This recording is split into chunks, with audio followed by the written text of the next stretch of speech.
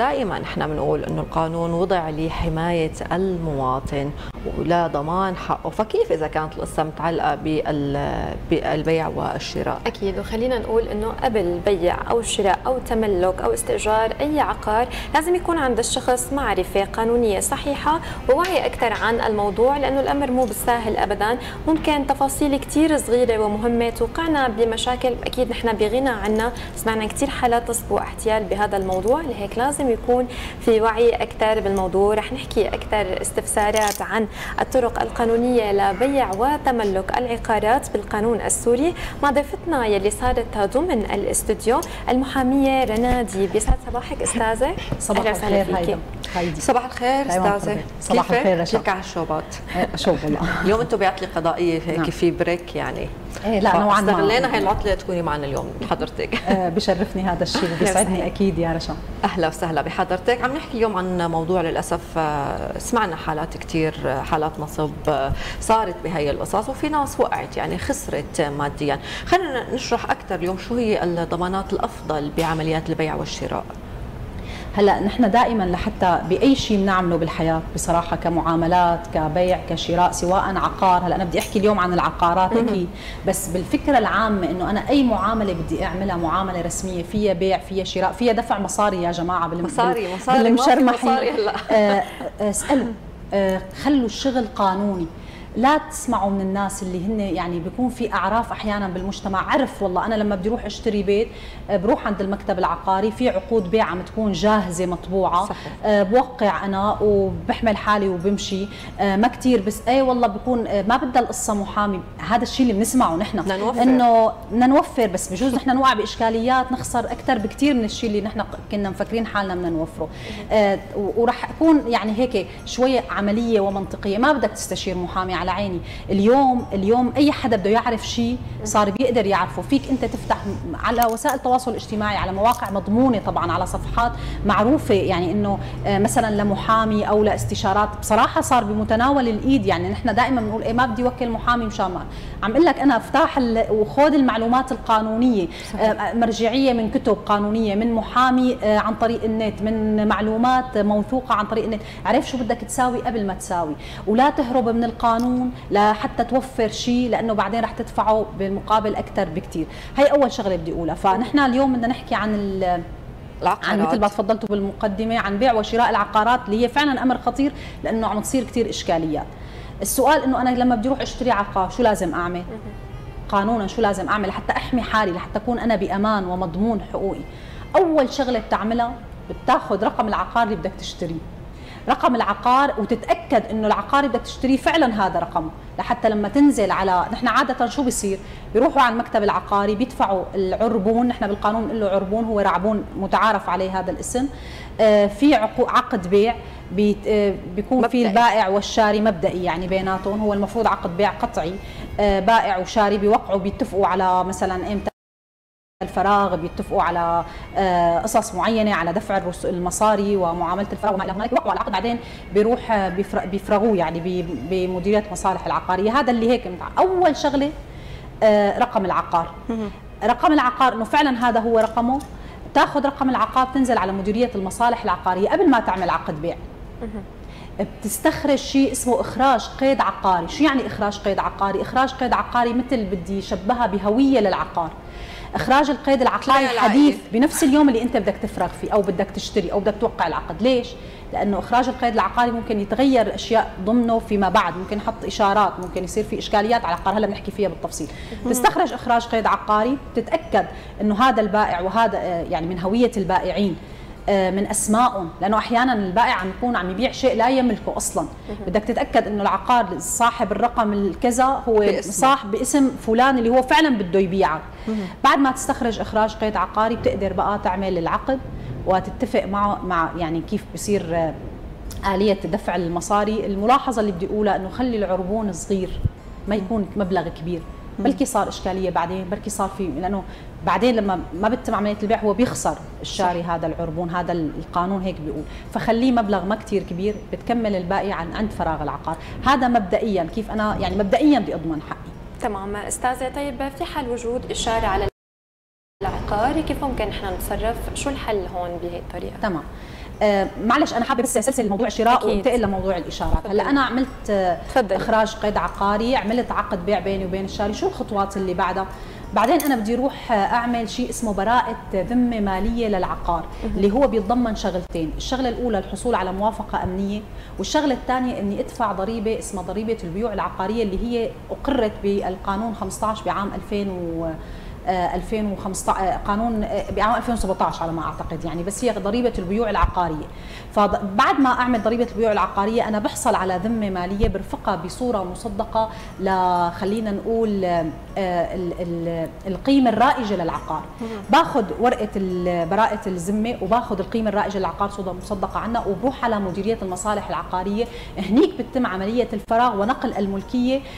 طبعا بدي أدفع كمان ضريبة اسمها ضريبة رسوم التسجيل العقاري. العقاري وقتها بينتقل العقار ملكية العقار للشاري وبينزل على صحيفة العقار باسم الشاري. هون أنا بكون يعني لحتى أنهي أنا فكرة فكرة بكون أتميت عملية البيع. سألتيني هايدي سؤال عن الإشارات. أول شيء شو هي الإشارة؟ شو معنات إشارة؟ نحن بنسمع إنه في إشارة على صحيفة العقار. خليني أقول لك أي إشكالية حول العقار نحن بنقول عنها إشارة. فأي شيء بيكون متعلق بالعقار مشكله دعوة مرفوعة للعقار إشارة حجز مثلا إشارة استملاك. أنا لما بستخرج إخراج قيد عقاري بيكون هي الإشارات موجودة. لذلك استخراج القيد العقاري موضوع كثير مهم. لأنه بيكشف لي شو شو المشاكل اللي على هذا العقار. طيب آه سؤالك هيدي هي هي بالنسبة للإشارات. كيف بحل موضوع الإشارات؟ تمام. الإشارات ما فيني احلها بطريقة واحدة لأنه هي إشارات مختلفة. مو كل الاشارات اللي بشوفها هي إشارات تمنع من نقل الملكية. هلأ إذا كانت إشارة حجز على العقار فحتما أنا ما فيني أنقل ملكيه العقار محجوز عليه. طيب إذا كانت أحيانا بتكون إشارة مثلا خليني أقول لك آه، لصالح المحافظة إنه في عمل فني بدنا يقوم فيه العقار يصير بهذا العقار لصالح المحافظه إشارة تعهد بيقولوا لها هي الإشارة إشارة عادية ممكن أنا قوم بهذا العمل الفني على العقار وبالتالي رقن الإشارة وينتهي شغلي مع المحافظة. فهي الإشارة ما بتمنع ما بتمنع إنه تنتقل ملكية العقار. بس لما بشوف إشارة بيكون أنا مهمتي الأساسية أعرف من وين صدرت هي الإشارة. أحيانا الإشارة بتكون صادرة عن جهة قضائية عن محكمة إنه في نزاع على العقار فبالتالي أحد الأطراف حط إشارة. آه، بدي لاحق هي القصة بدي في شيء اسمه مرفق الإشارة. بدي لاحق أشوف مصدرها أسبابها. بالنتيجة اللي بدي أوصل لها أنا لحتى أكون بأمان رقن الإشارة. يعني انتهي منها. أحيانا بيكون في إشارة نتيجة دعوة معينة. موضوع على صحيفة العقار. الدعوة مثلا خلينا نقول شطبت بتصير. فالإشارة ما بيعود إلى أي أهمية ولا أي قيمة تجاه أي حدا. لذلك أنا لازم لاحق هذا الموضوع أعرف مصدر الإشارات أعرف اسبابها وحلها رقنا وانتهي منها وقتها بكون أنا بأمان. يعني ما فيني أنا كل ما شفت إشارة على عقار أقول أنا لا معنات هذا العقار مو كل الإشارات حسب نوع الإشارة حسب مصدر الإشارة بتعامل معها بالنتيجة أنا هدفي رقم الإشارات أو إذا الإشارات أصلا ما لها ما لها مهمة. يعني هي بالنسبة لسؤال الاشارات وهي بحاجه لوعي كثير مهم. لحتى نقدر نعم. نحن نفرق بنوع الإشارة. ذكرتي حضرتك نزاع. أحيانا الشخص بيشتري العقار بيتغافل عن موضوع البيان العقاري فبيطلع في ورثة للعقار وفي إشارة حجز من أكثر من شخص. نحن دائما نعرف إنه الإشارة المحطوطة أول شيء هي الأقوى بموضوع الإشارات. بهذا يعني وقت بيكون الوضع هيك شو الحلول القانونية؟ هلا أنا أول شيء بدي أقول شو المشاكل. يعني هن كذا مشكلة أنت حكيتيهم هيك بشكل سريع حكيتيهم رح فصلهم وبعدين رح أقول لك شو هي الحلول. بس في نقط مهمه كثير لازم ضوي عليها. المشاكل اللي بتواجهنا بالعقارات أحيانا في عندنا نوع من المشاكل. هلا قلتي ذكرتي الورثة. هي آه، ورثة يعني في شيوع. في عندنا عقار بيملكوا أكثر من حدا. هون ماشي الحال مو مشكلة. لأنه انت بتقدري تشتري حصة الشخص اللي باعك من الورثة أو إذا الورثة كلهم متفقين فبتشتري العقار منهم كلهم. إيه بتشتري ما بدي تمام. أنت آه بتشتري من مالك الأسهم. يعني مثلا آه أحد الورثة يملك لنفترض 12 سهم أو آه نقول 1200 سهم من العقار. فأنت كشاري بدك تشتري بس حصة اللي باعك ما لك علاقة بالباقي لأنه هن كل واحد له حصه هذا موضوع. في موضوع ثاني كثير خطير رشا وكثير عم نشوفه. هن حالتين خليني أقولهم. شخص يملك عقار ولكن باعه لأكثر من حدا. وشخص لا يملك عقار وادعى ملكيته وباعه لشخص. هدول حالتين حاب كثير ميز بيناتهم. الحالة الأولى هو شخص يملك العقار فعلا. عمل عقد بيع بينه وبين الشاري باعه أول مرة الصبح المساء باعه لحدا تاني. صار نحن قدامنا مالك حقيقي وشا... اثنين شاريين لهذا العقار بموجب عقدين. هي إشكالية كثير كبيرة. أنا بدي أحكي قانون.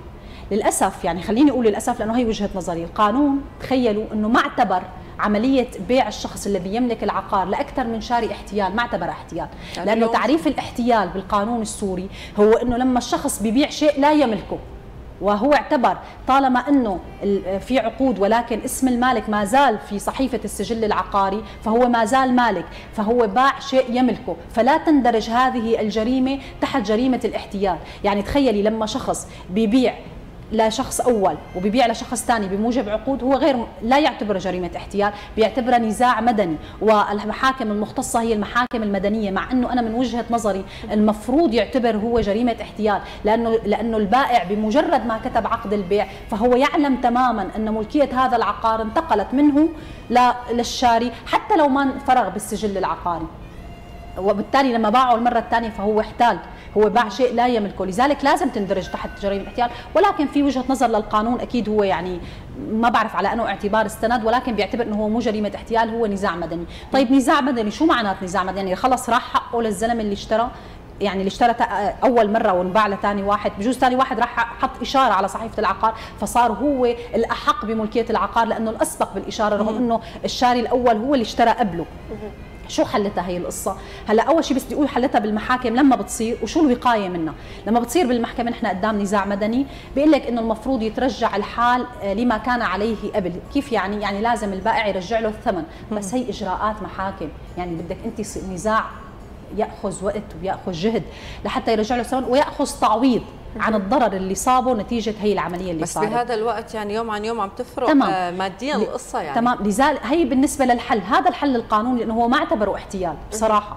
آه، إرجاع الثمن والتعويض بتحمل الإجراءات وطولة المدة، هون أنا بحمل الشاري مسؤولية كثير كبيرة، لأنه هو كان المفروض يسأل أكثر ويعرف أكثر إنه هذا العقار فعلا في حدا شاريه قبل آه هذا البائع الحقيقي يعني هذا آه آه يستخرج إخراج قيد عقاري ما يطول بمعاملة الفراغ، يعني يعني مثلا لو هو مثال بسيط يمكن يوم الجمعة أعمل العقد الجمعة بيقول لك طب كيف بدي أروح أفرغه؟ اليوم عطلة رسمية. عملت العقد بيني وبين ال- البائع عند وسيط عقاري بس أنا ما بقدر أفرغه بنفس اليوم. ما بقدر أروح أعمل أصلا المعامله ولا بقدر أحط إشارة. طب لا تعملوا يوم جمعة. يعني هي توعية للناس. حاول لأنه اليوم نحن عن جد عم نتعرض كثير لإشكاليات. هلأ الحالة الثانية اللي كنت أحكي عنها هو لما الشخص بيعرف حاله لا يملك هذا العقار. وبيروح بيبيعه لشخص. هون جريمة احتيال. بتشملها المادة 641 من قانون العقوبات. ليه؟ لأنه الشخص لا يملك العقار وباعه. فهون جريمة احتيال هي جريمة جزائية عقوبتها كتير كبيرة حبس وغرامات وما إلى هنالك. أحسن من أنه النزاع المدني. طيب شو المطلوب من الشاري بهي الحالة؟ لا لهيك أنا قلت بال- بال- بالمرحلة الأولى لما بده يطلع إخراج قيد يتأكد من هوية البائع أنه فعلا هذا الشخص يملك العقار. لحتى ما يوقع طيب باشكاليه كيف إنه شخص يتأكد هون مثل من؟ إخراج. القيد العقاري. آه، ما بيكون بإخراج القيد العقاري مذكور اسم المالك مفصل هويته للمالك. كل شيء بيتعلق. نحن قلنا إخراج القيد هو بمثابه هوية للعقار. بيان عائلي بتحسي يعني تماما. تماما. يعني بتحمي طيب نفسك من هون ذكرتي شو آه، قضائيا يعني شو اليوم العقوبات اللي ممكن آه، الشخص المحتال اللي بايع شيء مو له؟ هلا الاحتيال هو عبارة عن جريمة جزائية. حبس عدة سنوات طبعا حسب يعني تفاصيل الدعوة وتفاصيل الجريمة ولكن جرم جز جنائي لما بتقولي جرم جزائي يعني هو مو جنحة هو مو مخالفة هو عقوبة جنائية فوق الثلاث سنوات حبس حتما قولا واحدا مع إضافة إلى الغرامة؟ بالإضافة إلى التعويض. قد تكون غرامات ضئيلة يعني هلأ التعديلات الأخيرة بالقانون ولكن إنه في غرامة مادية خاصة للجرائم الجرائم الجزائيه بتكون يعني نوعا ما ماشي حالها. تمام. أستاذة كيف يتم اليوم معاينة العقار المباع لضمان حقي كمشتري؟ هلا معاينة كمعاينة بت... في بيقدروا يروحوا يشوفوا بس أنا بعتبر إنه المعاينة الفعلية القانونية للعقار هي إخراج القيد العقاري. هي إخراج القيد العقاري الحديث. يعني اليوم أنت لما بدك تعايني العقار هو الورقة هي اللي بتعاين العقار لأنه هي المواصفات مكتوبة وبيقدر طبعا يروح يشوفه. هي لحتى يكون يعني استنفذ كل الوسائل والطرق الممكنة لأنه يضمن حقه. المعلومات أهم من هلا العقار فيك بسهولة تعينيه على أرض الواقع ولكن معلومات العقار المكتوبه اسم المالك العقار مساحة العقار أوصاف العقار هي كلها بتكون مسجلة بإخراج القيد العقاري. هي آه، إجراءات كثير بسيطة اليوم آه، ممكن تبعدنا عن كل هي القصص ويكون نكون نحن بالسليم مثل ما بيقولوا. يعني بنرجع بنأكد على موضوع إنه حضرتك مثل ما قلتي اليوم المواقع مليانة وأنتم حضرتكم كأساتذة ما عم تقصروا يعني عم نشوفكم كيف شغالين على الصفحات وعم تبثوا عن مواضيع قانونية كثير مهمة. شكرا لحضورك اليوم. نتمنى لك عطلة كثير حلوة بعيدا عن المشاكل القانونية. شكرا شكرا يا رشا شكرا. أكيد أستاذة رنا بدنا نشكرك ونشكر كل المعلومات والتفاصيل المهمة اللي قدمتي لنا اياها بصباحنا لليوم نورتي صباحنا. يسعد صباحك شكرا لكم.